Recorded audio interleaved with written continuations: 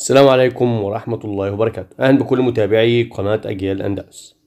وكل متابع برنامج أحدث التعليم وخلال اتصالنا بالدكتورة هناء فاروق اللي عملت إحاطة لمجلس النواب. تقدمت النائبة الدكتورة هناء فاروق عضو مجلس النواب حزب مستقبل الوطن بطلب إحاطة عاجلة لمجلس النواب بشأن النزول بالحد الأدنى للتنسيق بالجامعات الخاصة أسوة بجامعة سيناء.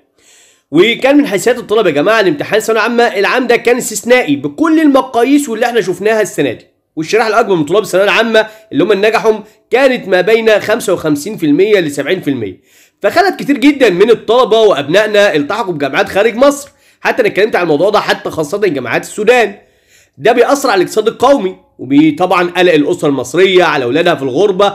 فكان طلب الإحاطة تماشيا مع سياسة الدولة في التوسع في مشاركة المجتمع المدني. في تنمية بقى وتطوير التعليم الجامعي وجودته.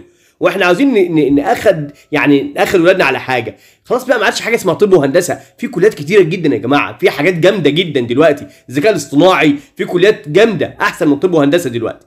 طبعا بالتوسع في إنشاء الجامعات الأهلية والخاصة عشان تستوعب كتير جدا من ولادنا عشان نخفف الضغط على التعليم الحكومي وتقليل الاغتراب بين الجامعات. وهيتم بإذن الله مناقشة الطلب ده بلجنة التعليم والبحث العلمي يوم الثلاث 30 نوفمبر. بحضور طبعا السادة التنفيذيين بوزارة التعليم العالي والمجلس الأعلى للجامعات الخاصة والأهلية.